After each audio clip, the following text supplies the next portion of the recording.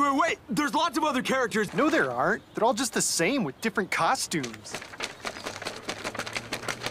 I didn't Nobody knows it knows was what kind of game it is. game. Is it medieval, sci-fi, western? It's a role-playing game. You have to use your imagination. Wow, wow. I never thought of it that way.